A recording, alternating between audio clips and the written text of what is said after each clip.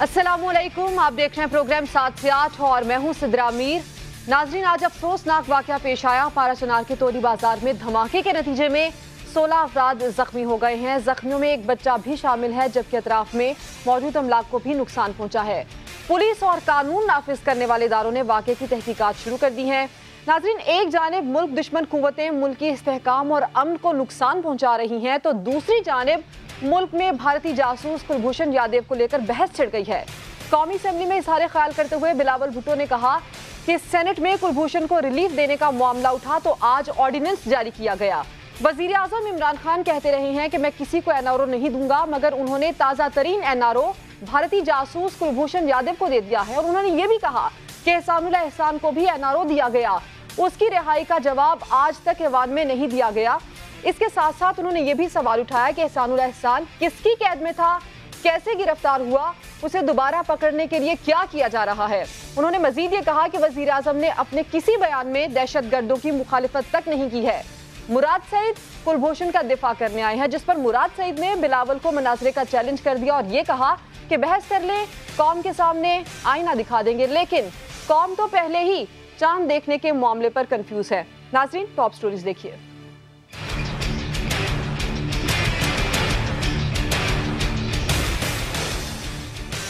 पाकिस्तान का इंसाफ का निज़ाम तारीख पे तारीख मिलती है, सालों गुजर जाती हैं, मगर इंसाफ नहीं मिलता।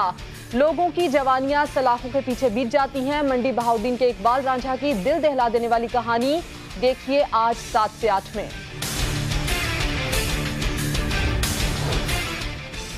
पंजाब में कौमी हीरोज और मुल्की सलमियत के खिलाफ मवाद पर मबनी इकतीस पब्लिशर्स की सौ किताबों पर पाबंदी लगा दी गई है। किताबों में साहबा इक्राम की शान के खिलाफ बातें लिखी गई। कई किताबों में कायद आज़म और अलामा इकबाल की तारीख पैदाइश गलत दर्ज थी। नक्शे में आज़ाद कश्मीर को भारत का हिस्सा दिखाया गया। कराची में मुनाफाखोर बेलगाम चीनी नब्बे रुपए और चक्की का आटा अड़सठ रुपए फ़ी किलो फरोख्त किया जाने लगा। शहरी ही नहीं छोटे ताजिर भी सर पकड़ कर बैठ गए। और कौमी असेंबली में एक बार फिर एनआरओ की गूंज, बिलावल भुट्टो ने भारतीय जासूस को एनआरओ देने का इल्ज़ाम लगा दिया। कहते हैं, कुलभूषण को एनआरओ देने की तैयारी है। एहसानुल एहसान को भी एनआरओ दे दिया गया।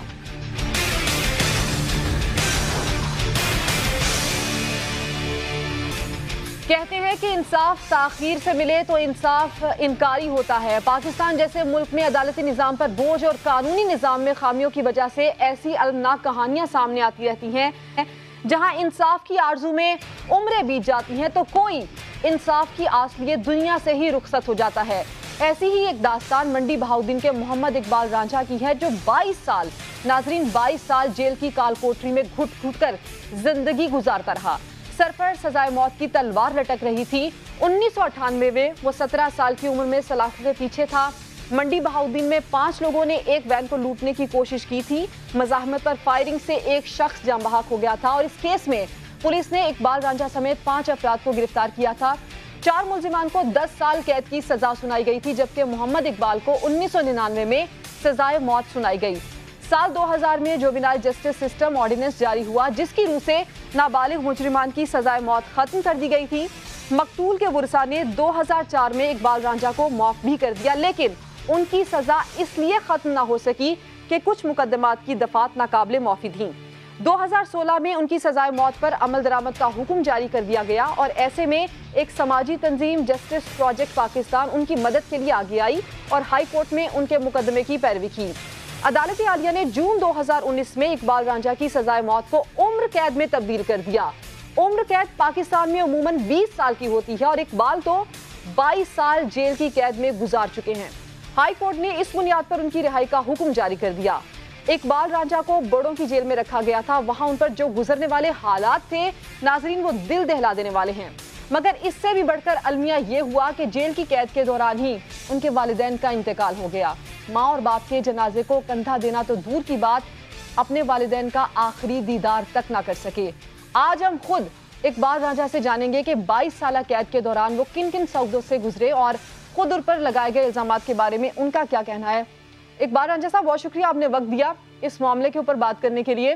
इकबाल साहब 22 साल, एक लंबा अरसा। यकीनन आपके पास बताने के लिए एक पूरी दास्तान है और मेरे पास भी पूछने के लिए बेशुमार सवाल आते हैं।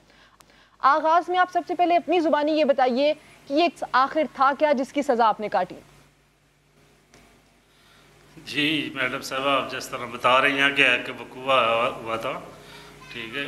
लेकिन इसका एक सत्रह साल बच्चे को क्या इलम हो सकता है? आप खूब भी अंदाज़ा लगा सकती हैं।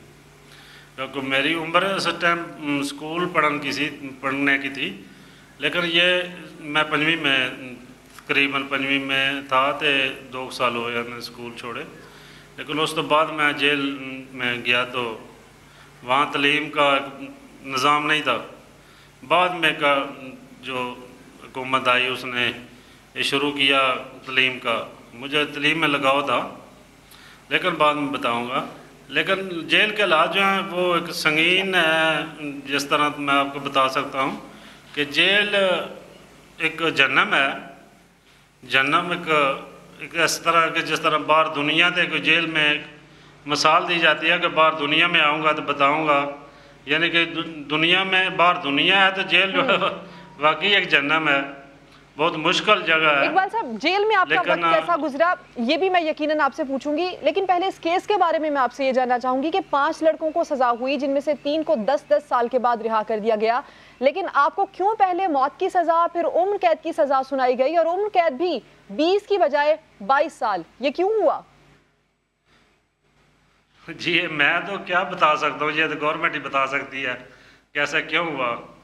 जो अदालती निज़ाम है वो बता सकते हैं कि ऐसा क्यों हुआ क्योंकि मैं तो एक जेल में था वकीलों ने जड़े ने जस्टिस प्रोजेक्ट पाकिस्तान ने बहुत रौला पाया है मेरे हम्म। वास्ते उन्होंने बड़ी कोशिश की है ठीक है उन्होंने कोशिश से नाल तामंद नाल ही मैं आज बाहर हूँ आपके इंटरव्यू दे रहा हूँ अच्छा इकबाल साहब जो आप पर इल्ज़ाम लगाए गए हैं जो दफात आपके ऊपर लगाई गई है मुकदमे में जिसमें डकैती भी शामिल है वो तमाम इल्ज़ाम क्या थे? उनके बारे में आप खुद क्या कहना चाहेंगे? क्या इन इल्ज़ाम का एतराफ़ करते हैं आप?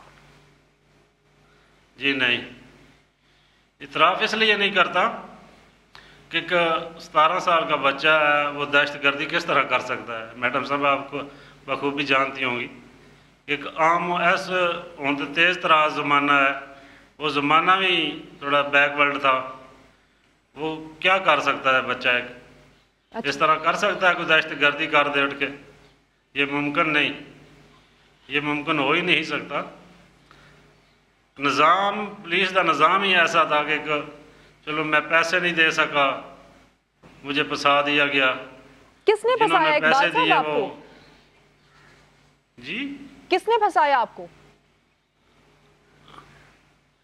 क्या दफ़ा इस केस में इस केस में जिस केस में आपने 22 साल जेल काटी इस मामले में आपको किसने फंसाया? मैडम साहब वो भी हैं कोई हमारे ज़मीन थेलने के लिए वो कोशिश कर रहे थे। मैं आज अभी बताना नहीं चाहता वो क्योंकि बहुत मेरे मुझे मुश्किल होगी यहाँ टाइम पास करने के लिए। जी बिल्कुल है ख़तरा। ख़तरा बिल्कुल है। अभी मैं ऐसे ही है जैसे कोई लुक लुका कर टाइम पास कर रहा हूँ। ठीक है। अच्छा जेल से आने के बाद जिन लोगों से आपको खतरा है उन लोगों ने फिर से आपसे रबता किया कोई धमकी दी आपको डराने की कोशिश की आपको और इस सिलसिले में क्या आपने पुलिस को बताया? पुलिस से तहफ़ मांगा? जी नहीं फ़िलहाल तो वो ऐसा कुछ नहीं कर रहा है तो मुझे इलम है कि वो करेंगे ज़रूर। फ़िलहाल तो कुछ नहीं कर रहा है क्योंकि मुझे तला मिल रही है कि वो ऐसा अच्छा। करेंगे। जी मुझे फिर फंसाने की कोशिश करेंगे या धमकाने की कोशिश करेंगे। अच्छा इकबाल साहब आप कब उम्री में जेल गए? आप जैसे वहाँ पर और भी बच्चे थे और ख़तरनाक मुजरिम में थे। कैसा माहौल था जेल के अंदर? कैसा सुलूक किया जाता था आपके साथ और दीगर बच्चों के साथ उस जमाने में? जी जेल का माहौल ख़राब सी। एक तो बच्चे होते हैं वो बालक होते हैं एक बड़े होते हैं वो जराम पेशा होते हैं। उनकी ज़िंदगी जराम में गुजरती है। और बच्चों को भी कोशिश करते हैं कि कोई कच्चे जेन होते हैं उनके। यानी कि उनको जराम में लगा दिया जाए। अच्छा। या उनको पैड़े कामों पर लगा दिया जाए लेकिन मैं अल्लाह पाक का शुक्र अदा करता हूँ कि मुझे पैड़े कामों और जराम की दुनिया में नहीं जाना पड़ा।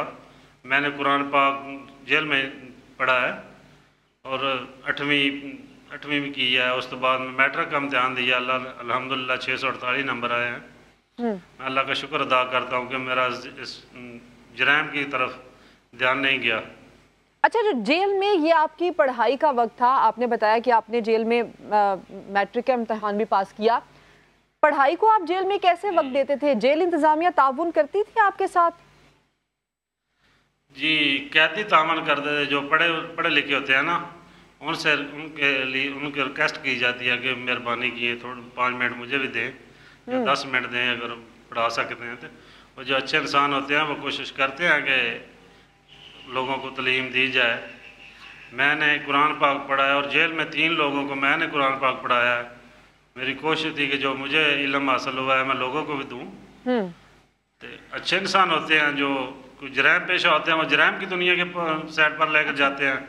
जो पढ़े लिखे होते हैं वो तलीम की तरफ़ लेकर आते हैं। अच्छा इकबाल साहब अभी जब मेरी आपसे पहले बात हो रही थी तो आपने मुझे ये बताया कि जेल के अंदर जो माहौल था उसमें आपको तशद का निशाना भी बनाया गया और जब आप कम उम्र में थे तो आपके साथ ज़्यादा करने की भी कोशिश की गई। वो वाक्य आप जरा मुझे बताइए कि वो क्या था? जी मैडम साहबा वो जेल में तशद होता है लेकिन कसूरवार हो तो उस पर लेकिन आम नहीं होता। लेकिन अच्छे इंसान हैं जेल में बहुत अच्छे अफसर भी होते हैं बुरे भी होते हैं अच्छे भी होते हैं लेकिन मिक्स दुनिया है। जी। हम्म। बाकी वाकयात जो जेल में होते हैं वो आप मैं अफसरान जेल इंतजामिया की नहीं बात करी चूँकि आपने खुद बताया कि आपको दीगर खतरनाक कैदियों के साथ रखा जाता था जो उम्र में आप लोगों से बड़े भी थे और आपके साथ दीगर भी कम उम्र कैदी वहाँ पर थे उनका रवैया कैसा था? उनकी जानब से तशद किया जाता था? जी नहीं मेरे तो अच्छा तावन सी उन्होंने बहुत अच्छा टाइम गुजरा। लेकिन जो दीगर लोग हैं वाक़ सुनते रहते हैं और देखते रहते हैं वो संगीन तार होते हैं। वो संगीन होते हैं जो देखे जाते हैं हम्म। और सुने जाते हैं। लेकिन मुझे तो अरसा हुआ है वहाँ जेल में। हम्म। ये आम आम आम केस हैं जेल में। अच्छा इकबाल साहब जेल में गुजरा हुआ सबसे तलख और भारी वक्त कौन सा था जिसमें आपने खुद को बेबस महसूस किया? क्योंकि आपने बताया कि जब आप जेल में थे और वालदेन का इंतकाल भी हो गया और आप आखिरी दीदार भी ना उनका कर पाए इसके अलावा दीगर कौन कौन से वाक़ात कौन कौन से सानहात हुए और आप जेल में ही रहे? जी ये सब तो मुश्किल वक्त था। जब मैं सजा हुआ से मौत दी गई मुझे तो बहुत भारी वक्त था। लेकिन हौली हौली जैसे तरह पुराने कैदी होते हैं उन, उनकी स्टेशन देख कर समझ गया था कि मुझे भी अरसा गुजारना पड़ेगा। लेकिन इतना अरसा नहीं कि बाईस साल गुजारने पड़ेंगे। मुझे भी यही था कि चार या पाँच साल में केस लगेगा और रूटीन बार अल्लाह पाक मुझे माफ़ कर देंगे या हम्म। अदालतों को रिलीफ देंगी। हो सकता है कि मुझे रिलीफ दे दिया जाएगा नाबालग भी था ठीक अच्छा। है लेकिन मुश्किल तरीन वक्त था जो वाल साहब फौत, वालदा फौत हुई। ये मुश्किल तरीन वक्त था। लेकिन अल्लाह का एहसान है, अल्लाह ने शुक्रिया अदा करता हूँ कि जो मेरे नाल इतना अरसा रहे हैं, वो इन सदमात की वजह से पागल हो चुके हैं। वो जहनी तोज़न खो चुके हैं। वो जहन उनके घर के आते हैं तो वो समझान नहीं पाते उनको कि ये हमारे वालदान या बहन भाई हैं, उनको समझान नहीं पाते। बहुत मुश्किल वक्त होता है वो लेकिन मैं अल्लाह का शुक्रिया अदा करता हूँ कि अल्लाह ने मुझे सब्र दिया है जेल में कि मैं उस सदमात तो काबिल बर्दाश्त थे हम्म। अल्लाह ने सब शुक्र अल्लाह का शुक्र है अल्लाह ने हिम्मत दी है मुझे अच्छा इकबाल साहब एक और बात मुझे ये बताइए कि चूँकि जब आपने जेल काटी जब आपको सज़ा हुई आपकी उम्र सत्रह साल थी तो एक सत्रह साल के कैदी के लिए जेल में कोई ख़ास रिलीफ दिया जाता था? कितने घंटे आप लोगों को सलाखों में बंद किया जाता था? क्या कुछ मखसूस मुद्दत के लिए आपको जेल से बाहर निकाला जाता था, सलाखों से बाहर निकाला जाता था, या फिर दीगर जो वहाँ पर खतरनाक मुजरिम थे, उनकी तरह आपके साथ रवैया रखा जाता था? जी, रवैया एक जैसा ही होता है। उन जो सहमौत के कैदी होते हैं ना, उनके रोज़ाना सेल तब्दील होते हैं। यानी कि उन जेल कवानीन के मुताबिक उर्दी कहते हैं उर्दी लगाई जाती है उनकी। मैंने तो बीस साल उर्दी लगाई है। रोज़ाना सेल तब्दील होता है अपना बिस्तरा गोल होता है वो अगली अगले सेल में जाना पड़ता है। अगले सेल में वो शिफ्ट होते हैं लेकिन जो आदमी नाल होते हैं वो भी एक उनको भी इलम नहीं होता हमने कि कौन कौन से सेल में जाना है। अच्छा। उनके भी सेल तब्दील तब्दील होते हैं। अच्छा इकबाल साहब जब आप जेल में थे तो आपके साथ दीगर कितने कम उम्र कैदी थे जिनको एक साथ खतरनाक मुजरिमान के साथ रखा जाता है? क्योंकि जहाँ तक हमारे इल्म में बात है एक साथ कम उम्र कैदी और खतरनाक मुलजिमों को नहीं रखा जाता। तो आपके साथ आपकी उम्र के या आपसे कम उम्र कितने मुलजिम वहाँ पर कैदी थे? जी काफ़ी थे। मुख्तलिफ़ टाइम में होते हैं ना। एक टाइम में तो हो सकता है बीस हों तीस हों। या गिनती की जमानत हो जाती है, किसी की बेल सुलह हो जाती है, वो चले जाते हैं। लेकिन आम, न्यू न्यू आमद भी बहुत होती है ना? जो न्यू आमद होती है, वो भी वहीं बंद होते हैं। अच्छा इकबाल साहब, अब चूँकि आप एक अरसा 22 साल का अरसा जेल में गुजार चुके हैं, आपने कहा कि जेल के अंदर जो एक्सपीरियंस है, वो खासा आपके लिए मुश्किल भी रहा। अब मुस्तकबिल के लिए आपने क्या सोच रखा है? आगे मुस्तकबिल में आप क्या करना चाहते हैं? देखो मैडम साहब, मैं तो ऐसा ही है जैसे बच्चा पैदा होता है। क्योंकि मैं जब जेल में गया था तो वो हमारे भांजे और भतीजे जो हैं वो छोटे छोटे थे बिल्कुल। एक एक साल के। अब वो जवान है। तो वैसे बलादरी में और पिंड में और जो भी आदमी है वो, अब मैं उनको समझा नहीं पाता। ये कौन है और किसका बच्चा है? किस बलादरी का है? मैं तो ऐसे ही है जैसा एक न्यू बच्चा पैदा होता है लेकिन साहब पुराने दोस्त जो उस वक्त आपके साथ थे दोस्त अहबाब रिश्तेदार अब वो पहले की तरह मिलते हैं या उनका रवैया चेंज हो गया आपके आने के बाद?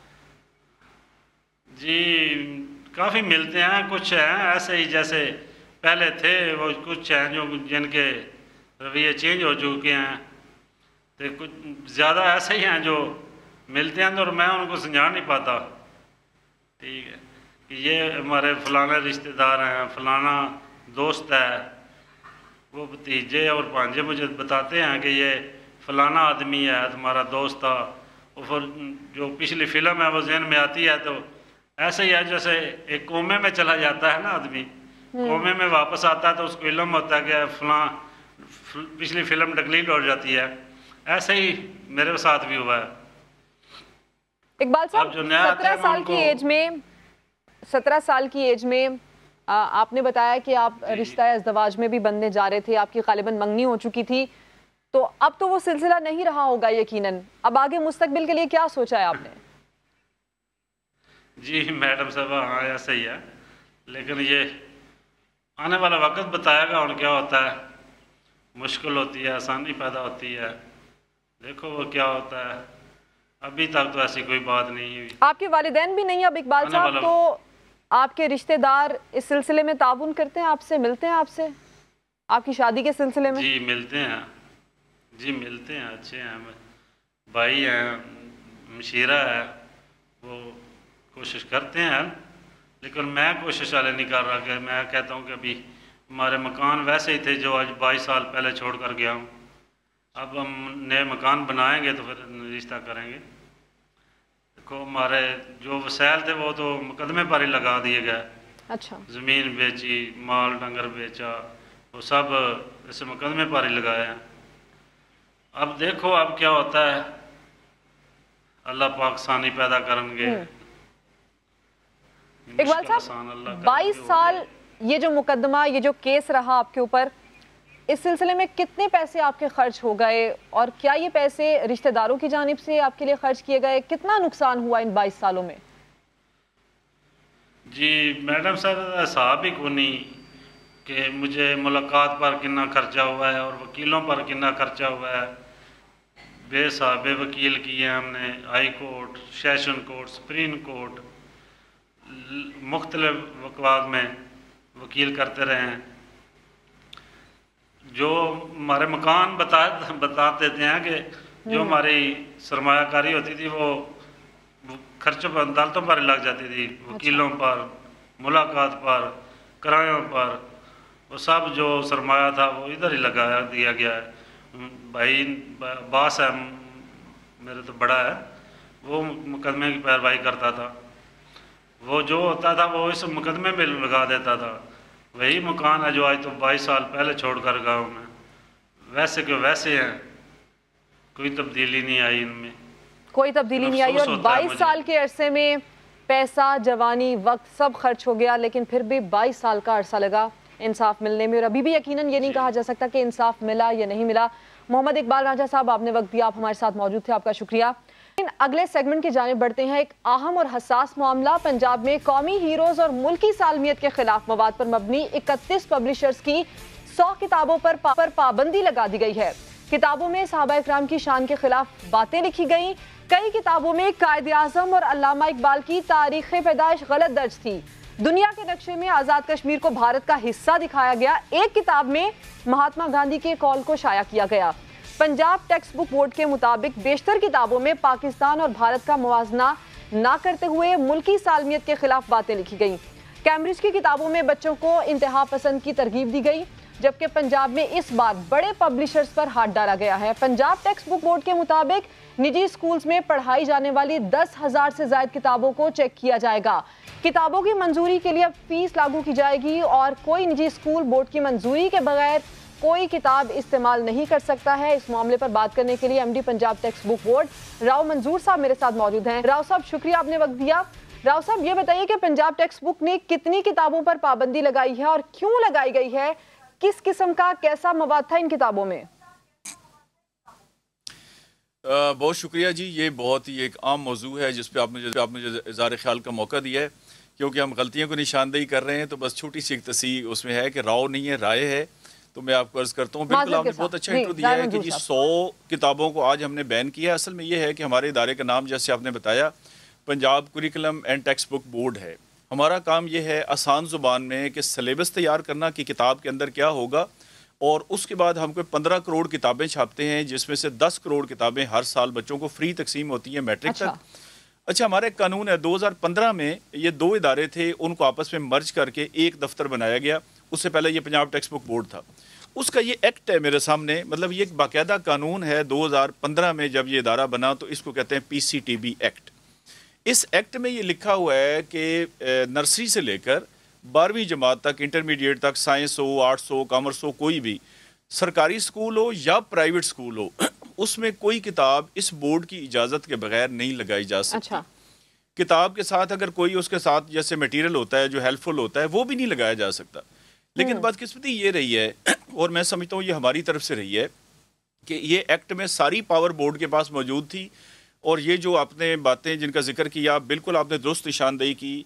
मतलब ऐसी चीज़ें हैं कि जो बताते हुए भी दुख होता है और बाज़ चीज़ें बयान करते हुए शर्म महसूस होती है वो इन बड़े पब्लिशर्स ने छापी और ये बड़े स्कूलों ने पढ़ाई। और आप अंदाज़ा कर लें कि हम जो अपना पेट काट कर बच्चे को भेजते हैं सुबह के जी ये बहुत ही अला स्कूल है इंग्लिश मीडियम वहाँ पर बच्चा कि हमारा बहुत अच्छा किरदार उसका बने और अच्छा शहरी बने और अच्छा मुसलमान बने तो ये सूरत हाल उनकी है। अच्छा राय साहब जि- जो बातें आप कर रहे हैं आप ये कह रहे हैं कि बिल्कुल ऐसा ही है ऐसा ही मवाद था इसमें। इस पर तो सवाल ये भी बनता है ना कि ये किताबें पंजाब टेक्स्ट बुक की बोर्ड की इजाज़त के बगैर कैसे जारी हुई कैसे शाया हुई कैसे स्टूडेंट्स तक पहुँच गई?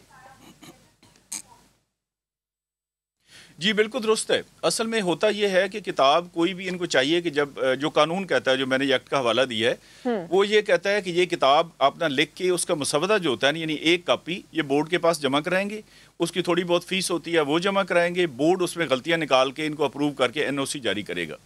अच्छा इन्होंने ये बहुत दफ़ा तो ऐसा हुआ है कि ये जहमती गवारा नहीं करते मतलब एक अच्छा। किताब लिखी और खुद ही छाप के खुद ही स्कूलों में चला दी। और ऐसे आपको याद होगा कि चंद दिन पहले मैंने ये किताब बैन की थी उसमें सुअर की तस्वीरें बनी हुई थी। अब बच्चे को सिखानी है गिनती। एक एक के बाद आप एक आम बना दें, एक सेब बना दें, एक फूल बना दें, दो। अब तीन के आगे उन्होंने सुअर की तस्वीरें बनाई हुई थी। हेलोवीन उसमें लिखा हुआ था। तो ये कुछ समझ ही नहीं आती ये जो लोग हैं, इनका पाकिस्तान के साथ, इस्लाम के साथ क्या कोई ताल्लुक नहीं है? राय साहब, ऐसे पब्लिशर्स जो जो आप बातें बता रहे हैं, जो कि किताबें ऐसे ही जारी कर देते हैं, बगैर देखे हुए या देखकर भी ऐसी गफलत का मुजाहरा करते हैं, आप ये समझते हैं इनके ऊपर पाबंदी लगनी चाहिए? जी हंड्रेड परसेंट लगनी चाहिए क्योंकि ये कानून जो मैंने आपको अर्ज़ किया कि हमारा जो बोर्ड है उसका कानून है 2015 का उसके अंदर ये लिखा हुआ है उसमें पाँच पैरामीटर्स बताए हुए हैं कि अगर उन पाँच में से कोई भी चीज़ होगी तो वो किताब छप नहीं सकती सेल नहीं हो सकती वो पाँच चीज़ें क्या है मैं आपको अर्ज़ करता हूँ। पहली बात है कि अगर इस्लामी अहकाम के ख़िलाफ़ यानी इस्लाम के ख़िलाफ़ कोई बात किसी किताब में नहीं छप सकती। दूसरी बात है पाकिस्तान की सलामती सालमियत दिफा इसके ख़िलाफ़ किसी किताब में नहीं छप छप सकती। तीसरी बात है कोई भी ऐसी चीज़ जिससे आपका अमन आमा ख़राब होता हो तो मिसाल के तौर पर फ़िरका परस्ती है नस्ली गिरोही है कोई इंडिया इसराइल की बातें हैं कोई सूबाई तसुब है यानी कोई भी बात जिससे लोग भड़क सकते हैं हम्म। और उनमें अमन आमा ख़राब हो सकता है चौथी चीज़ है अखलाकियात अच्छा अब एक हमारी किताब में लिखा हुआ था चर्बी का ज़िक्र था कि वो ग्रीस करते हैं और कारतूस चलते हैं वो आपको अठारह सौ सत्तावन की जंग आज़ादी वाला भी अच्छा उसमें लिखा होता सुअर की चर्बी अब चर्बी तो गाय की भी हो सकती है चर्बी किसी और हम्म। जानवर की वाय के सुअर की चर्बी आप उसमें लिखेंगे। पांचवी चीज़ है कि कोई ऐसी चीज़, खुलासा गाइडें होती है ना, आपने आम रिक्शों पे देखा होगा, लिखा हुआ जी कि एक हफ़्ते में बीए की तैयारी। अब ये कौन सी किताबें हैं जो एक हफ़्ते में आपको बीए तैयार कराती हैं, फिर वो किस तरह का बीए होगा? तो वो भी मन है। ये पाँच में से अगर कोई चीज़ भी किसी किताब के अंदर है तो उस किताब को बैन किया जा सकता अच्छा राय साहब, इसके साथ मुझे ये भी बताइएगा कि पंजाब टेक्स्ट बुक बोर्ड के अपने ऑफिशियल कितने पब्लिशर्स हैं?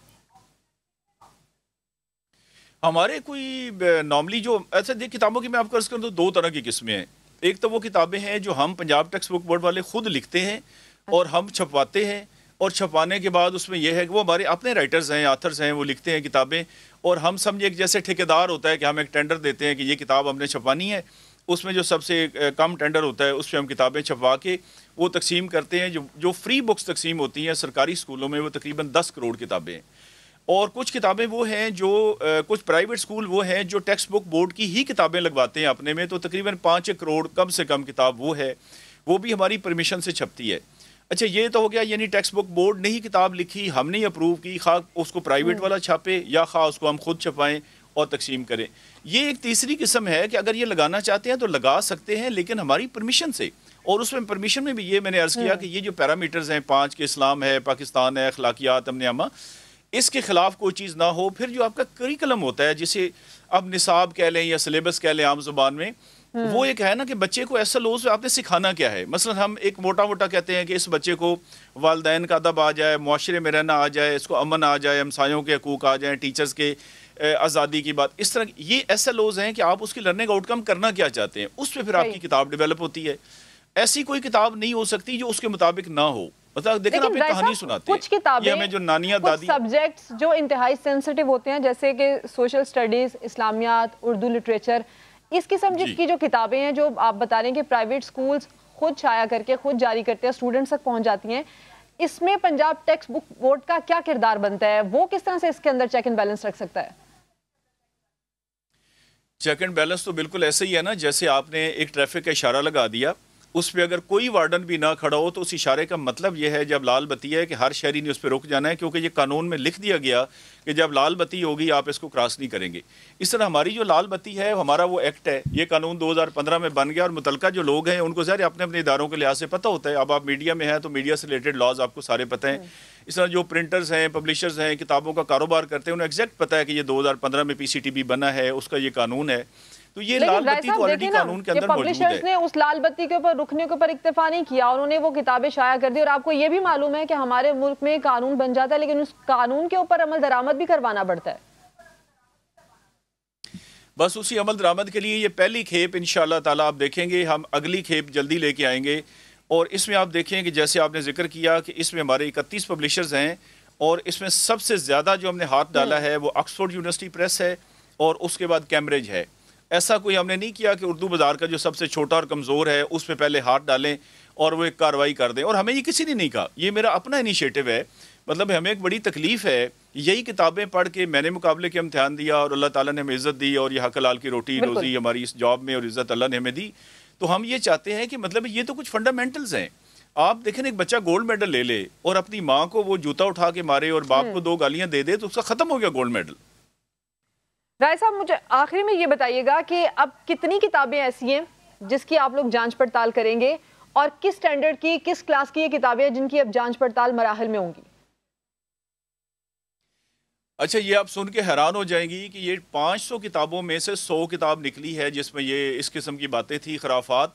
अच्छा। जो मैंने कहा ना कि बाज़ ऐसी चीज़ें हैं कि मैं टीवी पे बयान नहीं कर सकता कि जो उन्होंने किसी महफिल में फैमिली में आप वो बातें नहीं कर सकते जो बज़ाहिर टीचर बेचारी पढ़ाती होंगी और बच्चे पढ़ते होंगे। तो ये पाँच सौ में से सौ निकली है। इसका मतलब है एवरेज ट्वेंटी परसेंट अभी तक आ रही है। तो दस हज़ार किताबें हमने चेक करनी है तो अंदाज़ा कर लें कि ये कितना बड़ा एक है जो इसमें और इनशाला ये जैसे जैसे होता हम्म। जाएगा आपके साथ हम शेयर करते जाएँगे इनको हमने बैन कर दिया है। अगर ये अमल नहीं करेंगे तो हम आपकी बात का मतलब ये कि तकरीबन दो ढाई हज़ार किताबें ऐसी निकल सकती हैं। मेरा ख्याल है बिल्कुल आपकी कैलकुलेशन दुरुस्त है। और अगर ये हमारी इंस्ट्रक्शंस पे अमल नहीं करते तो हम इनके खिलाफ एफआईआर देंगे। वो भी कानून में लिखा हुआ है। सही। राय मंजूर साहब, आपने वक्त दिया, बहुत शुक्रिया। और आपका ये भी कहना है कि अब इसके ऊपर चेक एंड बैलेंस किया जाएगा, बल्कि कानूनी कार्रवाई भी की जाएगी। नाजरीन, एक और अहम मामला ये है कि चीनी बहरान ने सर उठाया तो कमीशन और तहकीकात का नाम पर खूब शोर मचा, लेकिन हुआ क्या? वही धात के तीन पात। इस्लामाबाद हाईकोर्ट का चीनी की सत्तर रुपये फ़ी किलो फरोख्त करने का हुक्म भी धरा का धरा रह रह गया। इस वक्त भी मार्केट में चीनी नब्बे रुपये फ़ी किलो ही मिल रही है। नाजरीन, गुजशत डेढ़ साल के दौरान चीनी की कीमत में 50 फ़ीसद से जायद का इजाफा हुआ है और हुकूमत के शुगर कमीशन के मुताबिक चीनी की कीमत मिल रेट पर तिरसठ रुपए फ़ी किलो होनी चाहिए, जो मार्केट में चंद रुपए ज़्यादा फरोख्त की जा सकती है। लेकिन सितम यहाँ पर यह है कि जो चीनी दिसंबर 2018 में मार्केट में छप्पन रुपए किलो फरोख्त हो रही थी, अब नब्बे रुपये तक जा पहुँची है। चीनी बहरान पर वज़ीर अजम की जानब से कायम किए गए इंक्वायरी कमीशन के मुताबिक पाकिस्तान में छह ग्रुप्स में चीनी की पैदावार का इक्यावन फ़ीसद हिस्सा पैदा करते हैं और ये सियासी असर रसूख वाले मिल्क मा, मिल मालकान में पी टी आई के सीनियर रहनुमा वज़ीर अजम के काफ़ी अरसे तक करीब रहने वाले जहांगीर तरीन विफाकी वज़ीर खुसरो बख्तियार सबक वज़ीर अजम नवाज़ शरीफ का खानदान पीपल्स पार्टी की क्यादत के करीब समझा जाने वाला ओमनी ग्रुप और दीगर शामिल हैं। ये सब एक दूसरे के साथ मिलकर मार्केट को कंट्रोल करते हैं और हुकूमती पॉलिसी और इंतजामी अमूर पर असरअंदाज होते हैं। शुगर मिल्स के मालिकान इतने बासर हैं कि कार्टल्स की तरह एक दूसरे का ऐसे तहफ़ करते हैं कि उनके सामने किसी की नहीं चलती। शुगर इंक्वायरी कमीशन के मुताबिक वजारत सनत और पैदावार एस ई सी पी मुसाबकती कमीशन और स्टेट बैंक ऑफ़ पाकिस्तान, जो बड़े सनतकारों के माली मामला वगैरह की निगरानी के जिम्मेदार थे सबने कोताही बरती। अब सवाल उठता है यहाँ पर यह कि हुकूमत की इस साल शुगर माफिया के खिलाफ सरगर्मी और केसेस तहकीकती इदारों को भेजने के बावजूद चीनी की कीमत मार्केट में कम क्यों नहीं हो रही है? गन्ने की काश्तवार कसूरवार हैं, ताकतवर शुगर मिल्स मालिकान या फिर हुकूमती इदारे, जिन्होंने कीमतों का तयन और इस पर अमल दरामद करना होता है। मामले पर बात करने के लिए माहिर उमूर अजनास शमसुल इस्लाम साहब मेरे साथ मौजूद हैं। शमसुल इस्लाम साहब, चीनी की कीमत के मामले पर इतना शोर मचा। S State Bank bank F B R भी कमीशन यहाँ तक हुकूमत पाकिस्तान, सब इदारे एक हो गए। मगर चीनी की कीमत नीचे नहीं आ रही, नहीं आ रही, बल्कि पाँच रुपए बढ़ा दी गई है। क्या वजह इसकी? देखें जी, इसमें शुगर का कार्टल आपको पता है कि बहुत स्ट्रॉन्ग है डीप रूटेड है और कई सालों से चला आ रहा है। अभी जो प्राइम मिनिस्टर ने इसकी इंक्वायरी की थी कि जो लास्ट जनवरी फरवरी में आपके जो है प्राइस हाइक हुई थी तो कमीशन बैठा, उसने डिटेल इंक्वायरी की और उसके बाद फिर उसका फ्रांसिक ऑडिट भी हुआ और वो सामने डिटेल सामने आई। लेकिन जो कंसर्न क्वार्टर्स हैं, वो एक्शन ना ले सके, इससे पहले जो बैरन्स हैं, वो कोर्ट्स में चले गए और इस्लामाबाद हाई कोर्ट में गए, उसके बाद वो, सिंध हाई कोर्ट में भी आ गए। और ये अब सुप्रीम कोर्ट तक भी बात चलेगी लेकिन अब सब जगह से एक डिसीज़न आ गया है तो हुकूमत को हम्म। चाहिए कि अब जल्द से जल्द इसके ऊपर एक्शन ले ताकि एक्शन लेने से ही इसके ऊपर क्रैकडाउन करने से ये माफिया कमज़ोर होगा और प्राइसेस कम होगी क्योंकि हमारे यहाँ कार्टलाइजेशन की क्यों इतनी मुखालफत दुनिया में क्यों की जाती है कि वो कार्टल जब बन जाते हैं तो उनकी पावर उनकी होर्डिंग स्ट्रेंथ उनकी मैनिपुलेशन वो सारी इतनी ज़्यादा हो जाती है कि जिसका आवाम के ऊपर असर पड़ता है वही आपने देखा कि बावन हम्म। तिरपन रुपये की चीनी कॉस्ट करती थी जिसको मुख्तलिफ़ फार्मूलाज इन्होंने बताया कि जी हमने गन्ना ढाई सौ का दो सौ का ले गया तो आपने कमीशन में भी आपके पास कॉस्ट की जो आ गई है कि सिक्सटी टू सिक्स थ्री लेकिन चीनी जो है वो बढ़ती जा रही है और जुलाई में जो एक अजीब चीज़ देखी गई है कि रोज़ाना की बुनियाद पर कीमत बढ़ रही है हम्म। जबकि इंटरनेशनल मार्केट में चीनी जुलाई में डाउनवर्ड ट्रेंड है। आज इंटरनेशनल मार्केट में कोई 360 डॉलर के करीब प्राइस है। और जिसके हिसाब से आपकी दुनिया में जो चीनी जहाँ पे दुबई में जहाँ गन्ना पैदा नहीं होता वहाँ चीनी की कीमत साठ रुपये अगर होती है और पाकिस्तान में जहाँ गन्ना पैदा हो रहा है इतनी ज़्यादा मकदार में और हम चीनी चीनी एक्सपोर्ट भी कर रहे थे तो वहाँ पर अगर एटी फाइव रुपये आज एक्स मिल का रेट है एटी फोर एटी फाइव बहुत सी मिल्स का ज़्यादातर जो सिंध की मिल्स हैं उनका एटी फोर एटी फाइव का रेट हो गया है पंजाब की मिल्स का कोई एटी थ्री से एटी फोर तक का रेट वहाँ पे भी चल रहा है। तो ये इतनी ज़्यादा कार्टलाइजेशन तो की भी खबर होगी। आप बता रहे हैं कि दुनिया भर में चीनी की कीमतें कम हो रही हैं, पाकिस्तान में बढ़ रही हैं, पाँच रुपये अब बढ़ा दी गई। वजह क्या हो सकती है इसकी? इन टाइमिंग्स में। देखिए, इसकी वजह ये, इसकी वजह यह है कि हमने जब ये चीनी की कीमत बढ़ी तो हमने कहा था गवर्नमेंट से कि आप ड्यूटी फ्री इम्पोर्ट अलाउ करो।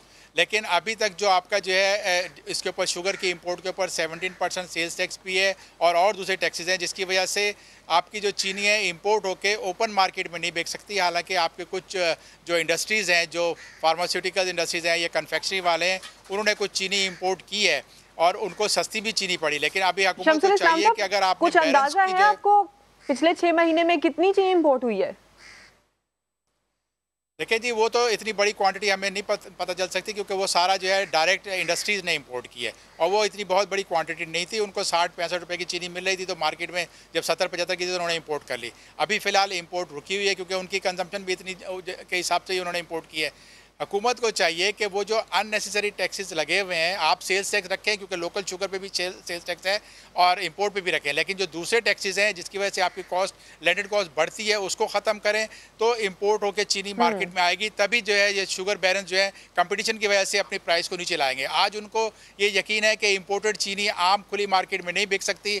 अगर कोई इंडस्ट्री वाला इम्पोर्ट करेगा तो वो अपने कंजम्पशन के लिए करेगा और उसका मार्केट पर असर नहीं पड़ेगा। यही वजह है कि चीनी की कीमत बढ़ा रहे हैं और उससे रोज़ाना की बुनियाद पर कीमत बढ़ाई जा रही है और आइंदा जो लग रहा है कि और चीनी की कीमत बढ़ेगी क्योंकि जो आपके अच्छा। जो बैरेंस है उन्होंने एक और टेक्निक भी जी एक और टेक्निक ली हुई है।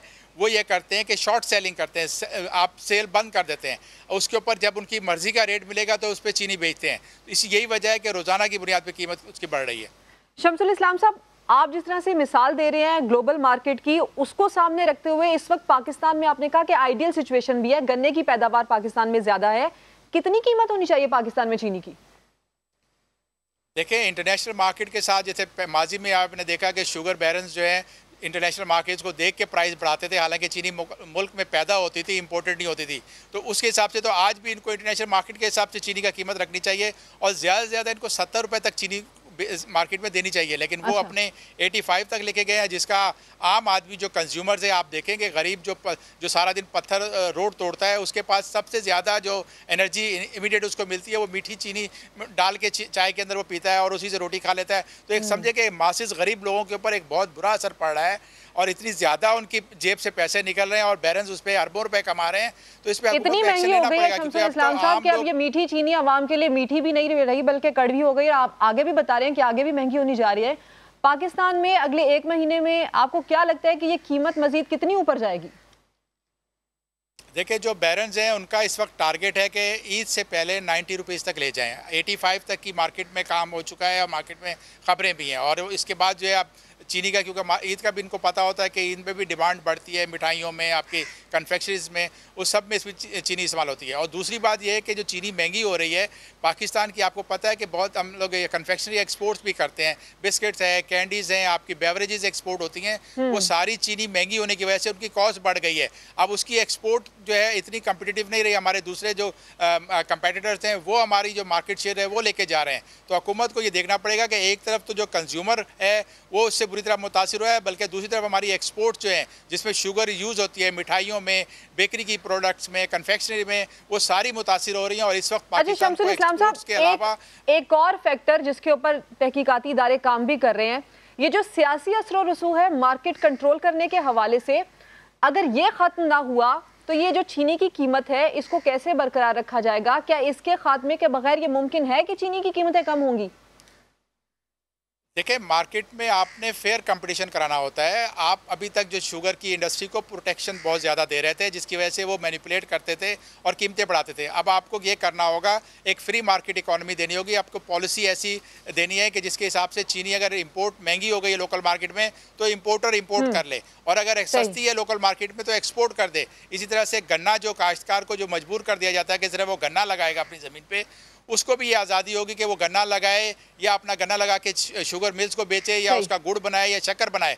आपने जो शुगर के केन के ग्रोथ के लिए आपने रिस्ट्रिक्शन लगाई है कि around twenty twenty one percent के करीब जो है वो गुड़ बना सकते हैं। हालाँकि गुड़ पाकिस्तान का दुनिया में एक्सपोर्ट हो सकता है बहुत ज़्यादा। हमारा जो नेबरिंग कंट्री है वो बहुत ज़्यादा एक्सपोर्ट से जागरी की करता है जो गुड़िया गुड़ जो दुनिया में खाया जाता है वो पाकिस्तानी। इसके अलावा हमारी बहुत सारी ऐसी मार्केट है जहाँ पर इसकी डिमांड है। लेकिन इसके बावजूद भी फिल वक्त आवाम ये तो ना रखें कि चीनी मीठी चीनी उनको सस्ती कीमत पर मिलेगी क्योंकि आगे भी चीनी मजीद महँगी होने जा रही है। शमसुल इस्लाम साहब आपने वक्त दिया आपका शुक्रिया। ब्रेक लेते हैं ब्रेक के बाद करेंगे बात एनआरओ की।